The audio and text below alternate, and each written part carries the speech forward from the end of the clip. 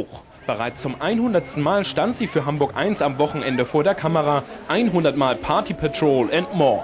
Ein Grund zum Anstoßen. 2500 Gäste feierten in der Telekom Messehalle mit. Und auch für Genies Magazin, das Freitagabend um 20 nach 10 ausgestrahlt wird, fiel noch ein Interview mit dem Techno-Duo Mental Theo und Charlie Low Noise aus Holland ab.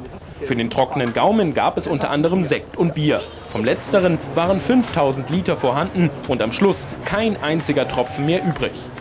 Neu ist auch der Genie-Song, den 17 namhafte Partyorganisatoren der Hamburger Szene für Genie komponierten.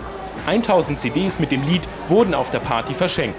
Promis durften auf so einem Event natürlich auch nicht fehlen. Gesichtet wurden unter anderem Dieter Bohlen und Jan Vetter. Gemeinsam mit den übrigen Gästen wurde gefeiert bis morgens um vier. Ausgenommen Otto Walkes, der konnte gerüchteweise wegen Überfüllung gar nicht in die Halle vordringen.